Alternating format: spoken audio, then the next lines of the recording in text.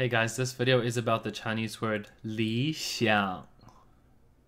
理想, which means an ideal or a dream that you want to accomplish or you wish for. Here are some examples of how to use this word. The first one is 你的理想男朋友是怎么样的呢？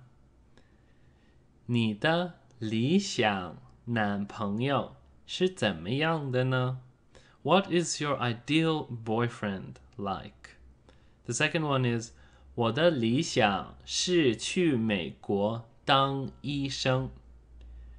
我的理想是去美国当医生。My dream is to go to America and become a doctor or be a doctor. Thanks for watching.